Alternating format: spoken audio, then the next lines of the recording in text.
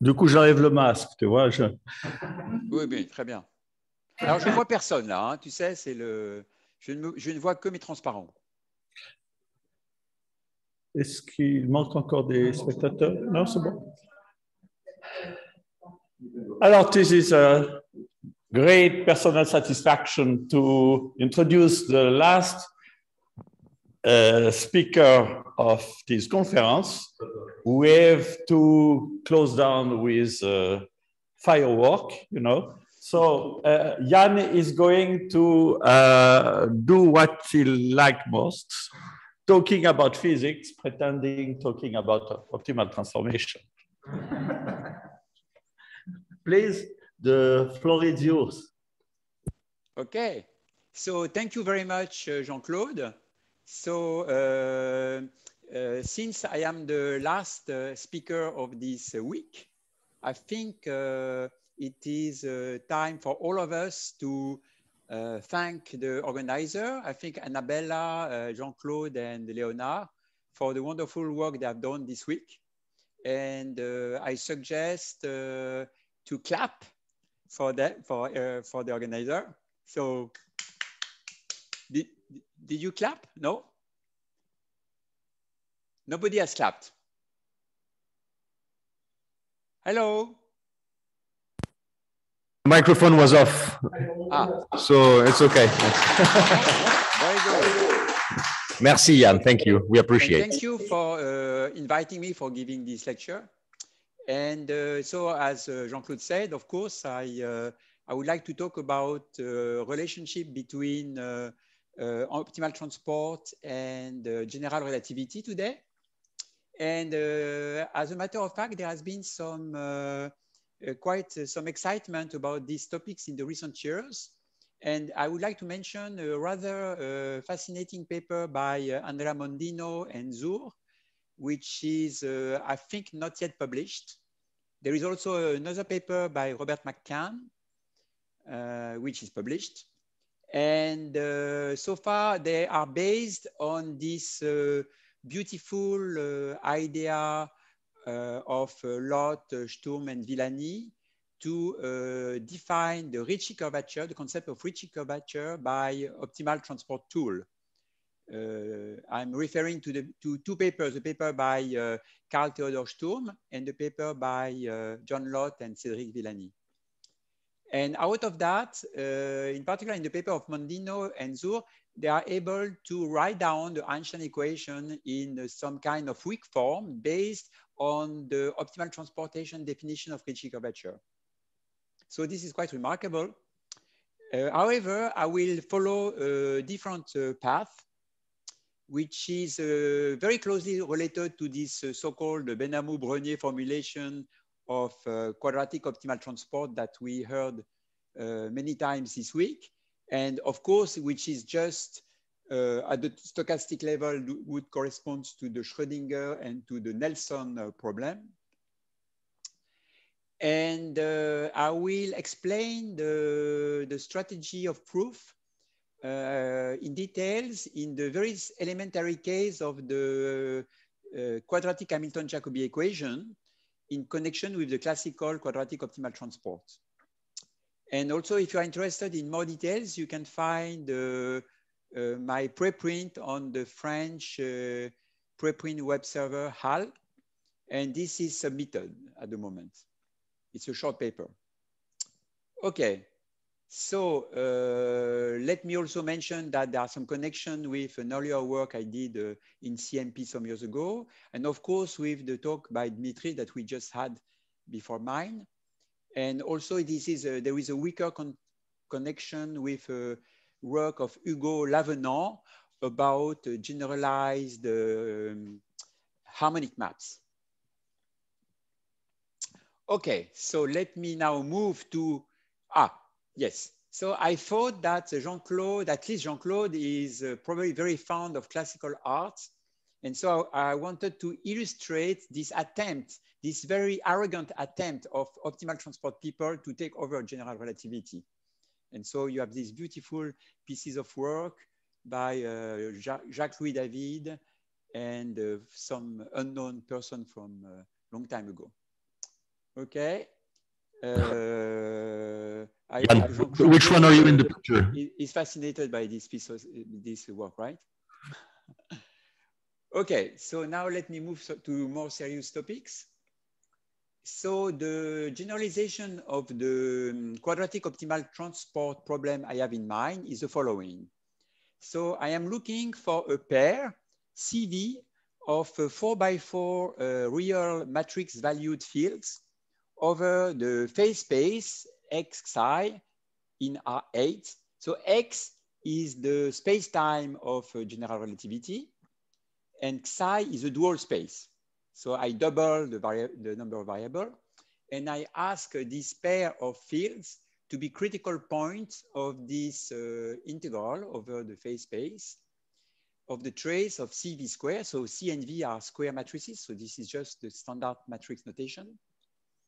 And uh, CV are subject to a kind of a generalized uh, continuity equation that tells you that the X divergence of C is balanced by the Xi divergence of CV plus VC, right? And there is uh, some additional uh, symmetry constraints, uh, linear uh, symmetry differential constraint in the Xi variable. So the first one tells you that actually V uh, is a derivative in Xi of some potential. And uh, the second condition on C is more mysterious. I, I don't have a, a, clear interpretation of this, uh, uh, this constraint. Anyway, this is a good uh, point to uh, tell you that I will assume, I will use a classical notation of general relativity that is indices up and down uh, when you have the same indices up and down, they are implicitly uh, summed up, like here, J, and like here, gamma. Okay, so I will use this notation uh, all along the talk. Anyway, what is quite, so I claim that this uh, uh, problem has to do with general relativity. So that looks very strange because if you look at this equation, this is much more reminiscent of, uh, I would say, continuum mechanics.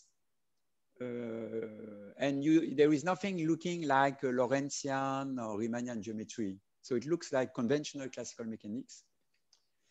And uh, a la Euler, Lagrange, Cauchy. And uh, you can see, in some sense, this kind of kind of a rea reactionary view on uh, general, general relativity. Okay, a big caveat that this uh, formulation uh, does not, a priori, doesn't lead to a convex optimization problem. So at the moment, you cannot use this formulation uh, to do um, easily some analysis, you know, like in optimal transport or in the Schrodinger problem, you use convexity to get the existence of minimizer, blah, blah, blah, blah and things like that. So it is uh, essentially differential calculus. And at the moment, I don't know how it can be used from, uh, from, uh, for some uh, any analysis purpose. But maybe we will discuss that during the, the questions time. Okay, so now uh, let me uh, maybe remind you a very light amount of general relativity. So in gravitation, the concept of free fall is entirely uh, equivalent to the concept of geodesic curves with respect to the Lorentzian metric defining the, the space. So G is a Lorentzian metric over R4. And so uh, geodesic curves are just uh, critical point of the following functional involving the Lorentzian metric and the S derivative of the curve. Okay, so that's a starting point to describe the free fall uh, of bodies. And uh, okay, here for notation purpose, I just tell you that it is very easy to get the optimality equation for the geodesics. And uh, it is very nice to work in the phase space. So denoting the, the S derivative of the position X by Xi, I get that the derivative of psi, which is the acceleration, is just uh, equal to the square of the, of the velocity multiplied by gamma, and gamma is the Christoffel symbol uh, related to the metric by this uh, formula, which tell you that in some sense, gamma is the log logarithmic derivative of g, right? Because you have the linear derivative of g, and here there's a multiplication by g. So gamma is like a logarithmic derivative of the metric. And this is enough to define you the acceleration field for the free fall in some sense. Okay, so now what is the Einstein equation in vacuum? Einstein equation in vacuum is just the, uh, the assumption that G has a zero Ricci curvature. And the Ricci curvature can be expressed either in terms of G, but also directly in terms of gamma, which will be actually quite convenient to do later on. So um, here I'm talking only about the Einstein equation in vacuum. So uh, there is uh, a joke by uh, one of the best specialists of general relativity at the mathematical level, which is uh, Dimitrios Christodoulou, and he called Einstein equation in vacuum the nobody problem because there is nothing. Okay, so uh, from the physical viewpoint, you, you may consider the Einstein equation in vacuum as not so interesting. However, this is not, this is not so true because the Einstein equation in vacuum is known to be not closed under uh, weak convergence. And there is uh, the so-called Burnett conjecture that tells you that you can generate matter out of uh, weak sequences, weakly convergent sequences of solution to the vacuum Einstein equation. And there is a beautiful paper, a recent beautiful paper by Cécile Huneau from uh, École Polytechnique showing that you can generate some matter by weak convergence out of the Einstein equation in vacuum, at least some massless matter. So it is not absurd to discuss Einstein equation in vacuum, even from the physical viewpoint. Okay, so now uh, let me state more precisely my result. So my result is the following. So assume that G gamma, so G is the metric, gamma is the, the Christoffel symbol, the connection, the Levi-Civita connection attached to G, be a smooth solution to the Einstein equation in vacuum. So now let me define the, this matrix valued field V very easily in terms of the Christoffel symbol like this. So it's linear in psi. And the C is more complicated to define. So this is a derivative of some vector potential A.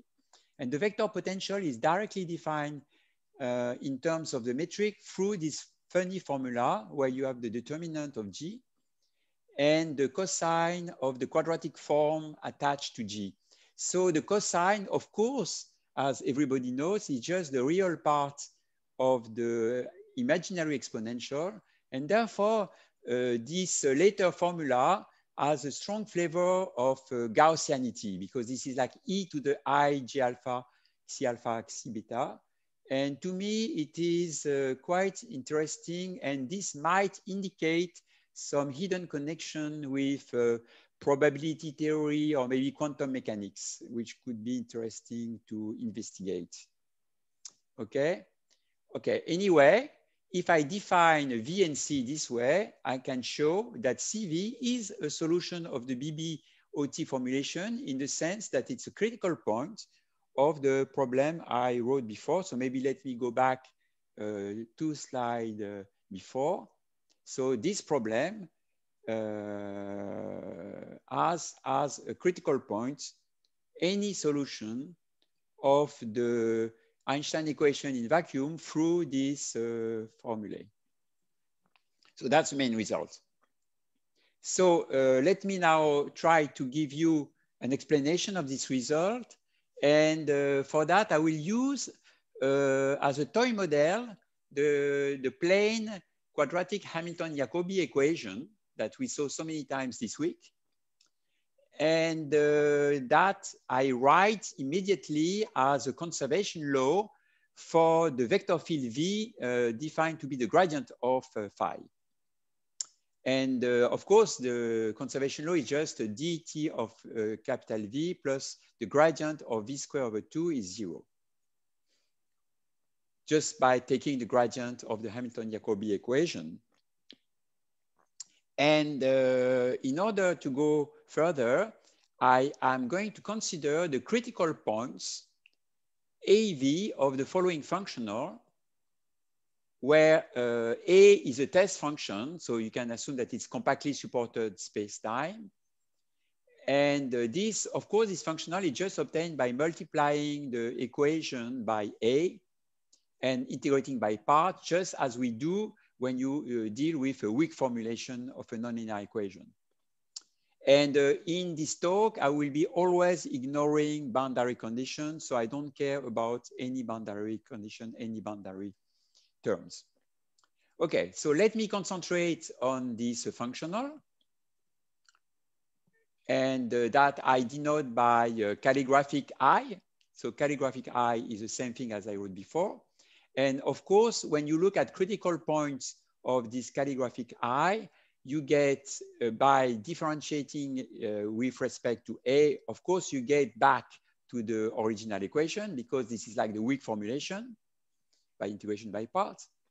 Nothing uh, uh, surprising. And uh, if I differentiate with, with respect to V, we get something useful, which is a linear equation for A, because of course, A is featuring in the calligraphic I only in a linear way. So it's natural to get a linear equation. But of course, this linear equation depends on V. And uh, this is an additional information that we are going to use now. And right away, I'm going to recycle the value of dTA given by equation two here. And uh, if I use this formula, uh, in the integral, I get minus dTAV becomes plus divergence, divergence of A time V square minus one half of the same thing and therefore, what I get is uh, this uh, new functional I, uh, calligraphic I sub 2, which is just one half of divergence of A times V squared over 2. And uh, I remember, I remind you of the equation 2. And now there is a very easy claim that uh, whenever AV is a critical point for the original functional capital uh, calligraphic I, then AV is also a critical point, but now for the new, the new version of the, the functional, which is uh, calligraphic I sub 2, but now subject to the constraint 2.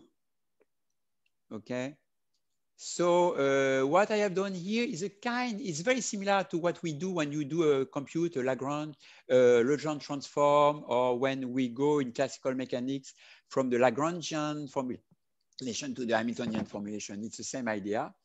And uh, let me uh, uh, prove uh, very easily this claim. So once again, there is no really analysis here. This is just differential calculus. So I don't care about functional space. I just care about equation. So I just do plain differential calculus.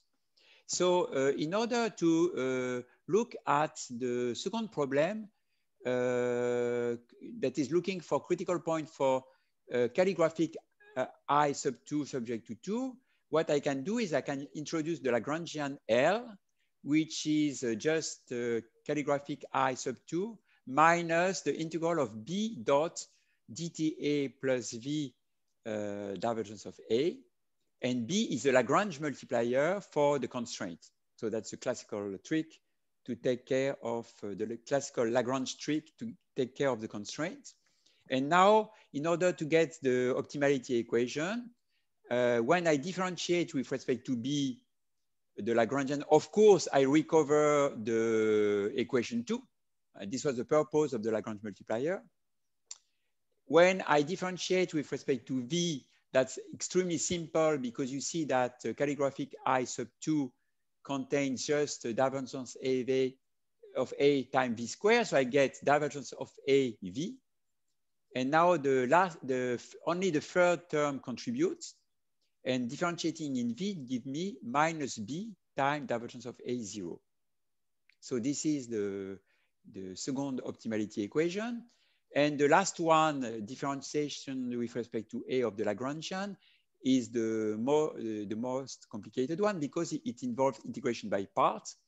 So uh, differentiating in A, the term uh, calligraphic I sub 2 give me by integration by part minus the gradient of V square over 2, which is here. Now, the second term minus B dot dTA by integration by part give me plus dTB.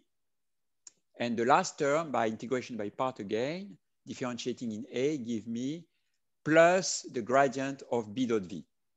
So I got the free uh, optimality equation to describe a critical point of uh, calligraphic I sub 2 uh, subject to 2. And now, to prove my claim, it is enough to look at a critical point for uh, calligraphic I. And we already know, we saw that before, that the optimality equation for this problem are just the linear equation in A depending on V and the nonlinear equation in uh, V. So now, well, I claim that I have a critical point for I2 subject to 2 just by taking the Lagrange multiplier B to be equal to V. Because if I do that, uh, if I take B equal to V, of course, I solve the second equation automatically because V, this cancels out. Uh, of course, the first equation too, I, uh, I have it for free, for free. And now the last equation is okay because I know that, uh, let's say, I know that uh, dTV plus gradient of V square over 2 is zero, but since B is equal to V, this is exactly the same as the third equation, right? Because if B is equal to V, I get dTV plus gradient of V square minus gradient of V square over 2. So that's good. So my claim is correct. Okay, very, very trivial. So now uh, I am switching to this new problem, which is looking for critical points of uh, calligraphic I sub 2 subject to 2. And uh, I can see that divergence of A plays um, distinguished role in this problem.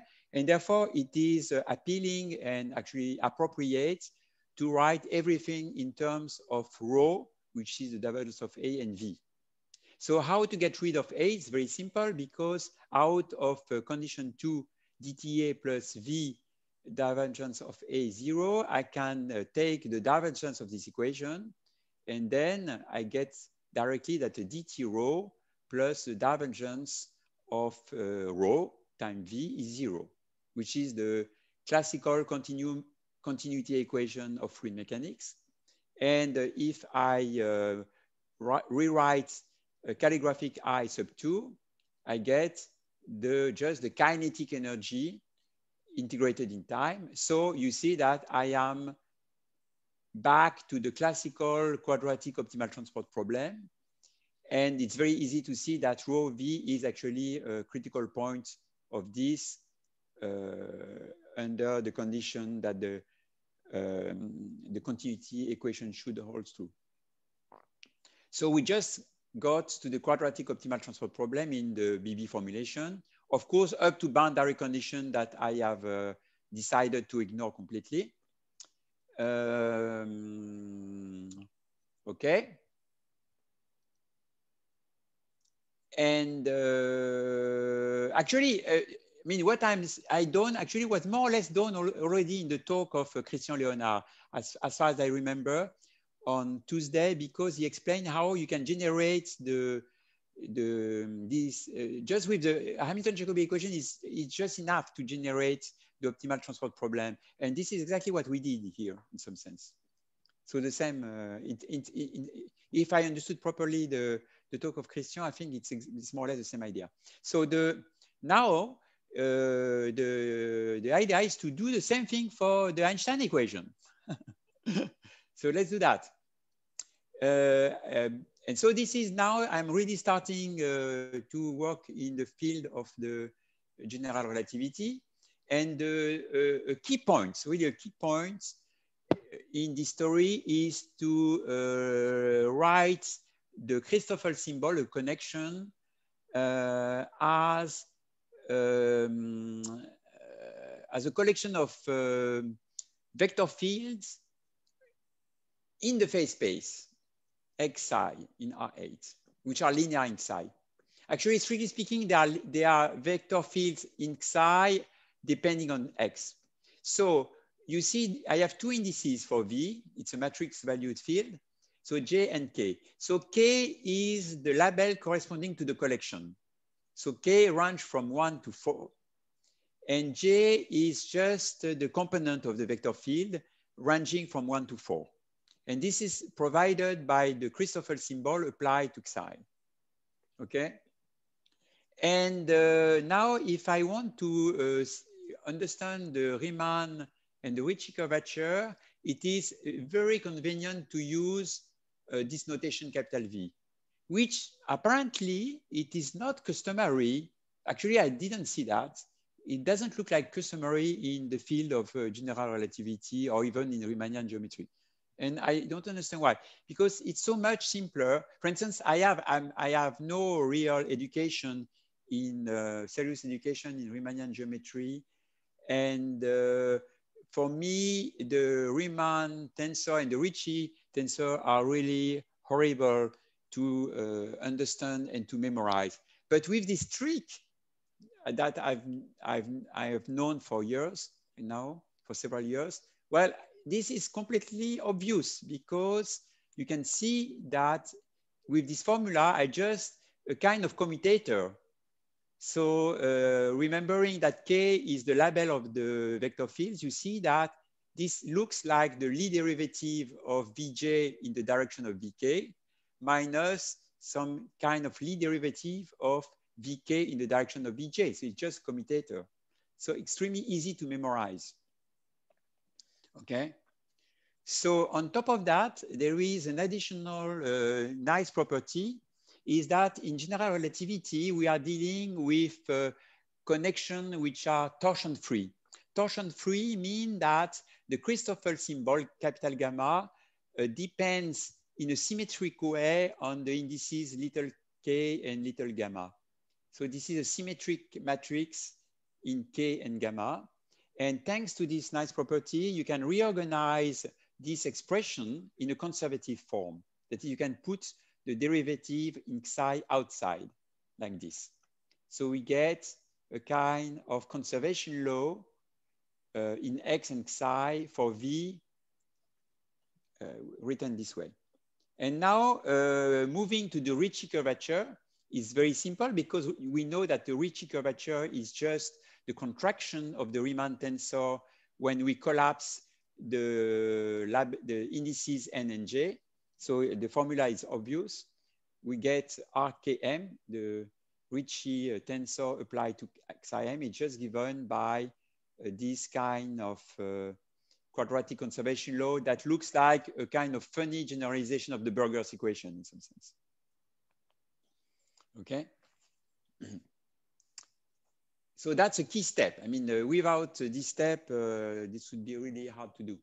So the now uh, the game is pretty obvious. I'm treating the, uh, this uh, zero Ricci phase space equation that tell you that the Ricci curvature is zero, just as I did for the Hamilton-Jacobi equation before uh, with the following dictionary that uh, what was rho before, the density becomes the matrix valued field C. The classical continuity equation of Euler becomes the, this generalization of the continuity equation. And the time integral of the kinetic energy becomes this expression. So, and there is a little bit more because you need uh, this, uh, this linear symmetry constraint.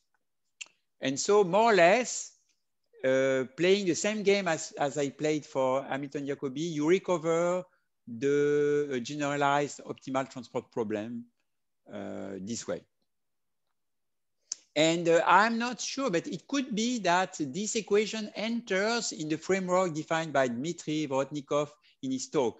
Because in some sense, what was important in his talk was the, the fact that the equation was quadratic. So of course, here, this is not a time evolution equation because what plays the role of the time here is x, which is a multidimensional variable.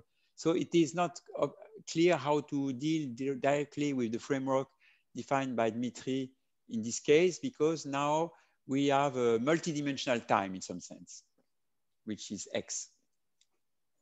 Anyway, uh, that's the idea to define uh, the multi, uh, the generalization of the optimal transport problem.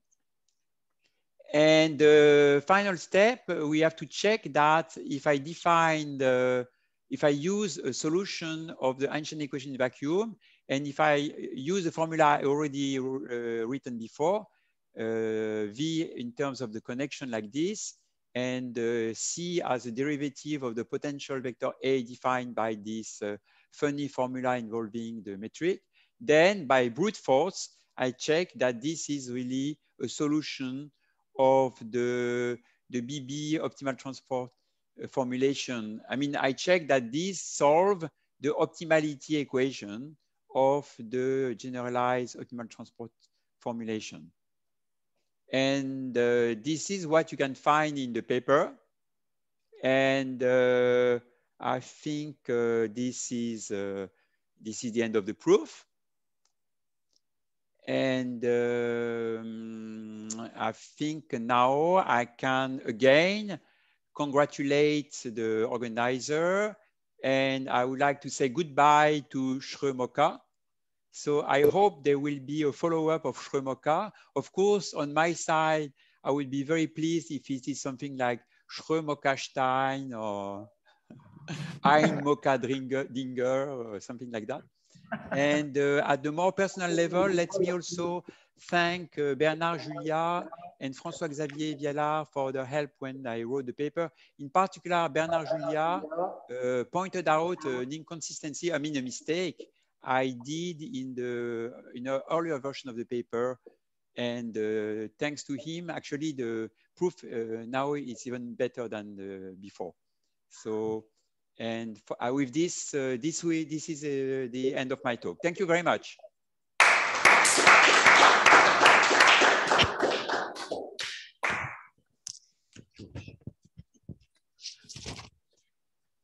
Uh, okay, thank you.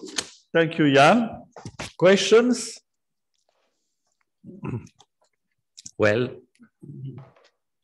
well, Yann, it's Christian. Well, my question is probably everyone's question. Um, how would you interpret this oscillation by the, the, the cosine, which appears in, in, in A?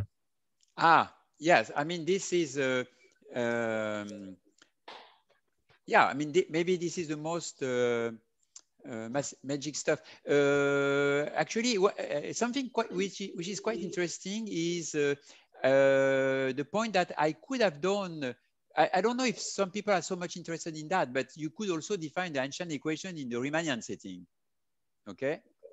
And that might be also useful from the viewpoint of the Ricci flow.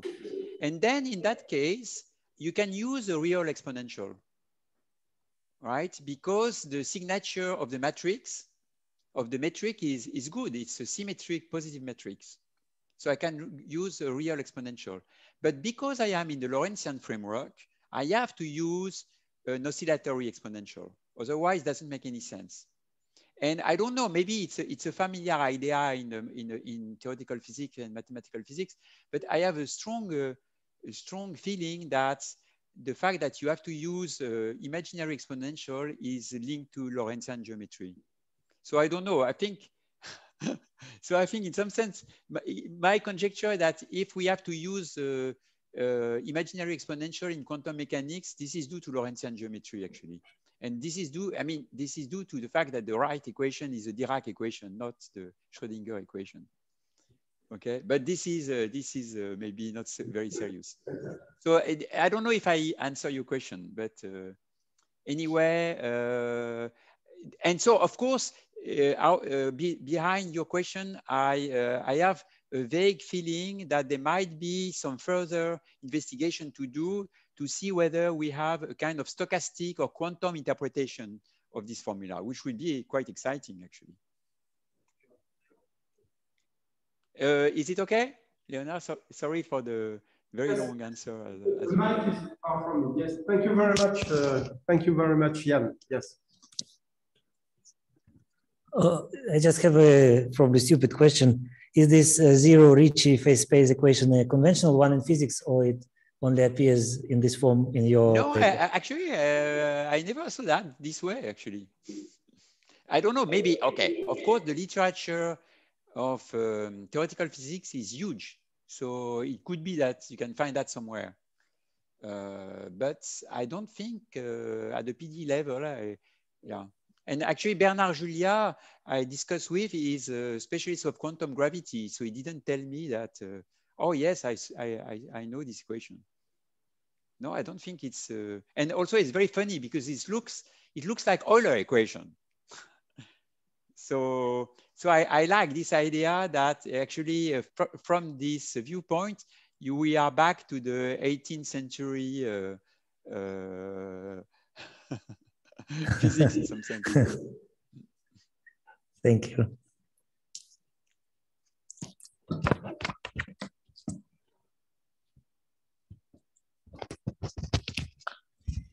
Okay, uh, the mic come back to, to me.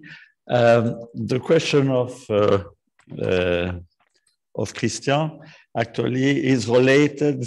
This uh, apparition of uh, the first half of the exponential, the complex exponential, is related to what is called Madelung transformation in physics. I, am a big, I am a big fan of uh, Madelung transform. Exactly. I, I, was sure because I have in front of me a, a paper of Boris Khesin that you probably yeah, have. Yeah, yeah, yeah, yeah, yeah, sure, of course I know. Okay, and uh, so this gave me the idea that instead to give back some unused uh, money for this project for obvious uh, pandemic uh, reason, I should be better inspired to do in the year to come a second version of meeting more devoted to the kind of stuff was uh, Boris Khesin uh, is doing.